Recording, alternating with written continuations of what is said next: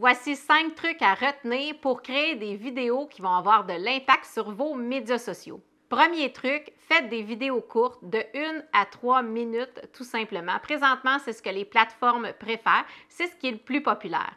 Deuxièmement, faites-le en version mobile. Oui, les gens regardent leurs médias sociaux sur leur téléphone. Bref, ça va être beaucoup plus agréable pour eux de regarder en version mobile. Troisième chose, n'hésitez pas à faire des prises de vue réelles. C'est pas grave si tout n'est pas parfait en arrière de vous.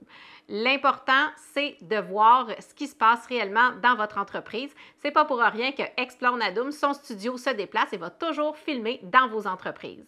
N'oubliez pas de capter l'attention dans les trois premières secondes de la vidéo. C'est très important présentement sur les médias sociaux. Vous pouvez commencer avec une question intéressante ou même raconter le milieu et la fin de l'histoire avant de raconter le reste. Cinquièmement, utilisez les musiques et les tendances et les sons sur les médias sociaux. Et je ne vais pas nécessairement dire par là de faire des danses TikTok. Il y a beaucoup d'autres tendances sur les vidéos courtes. N'hésitez pas à regarder votre fil d'actualité vidéo pour les découvrir.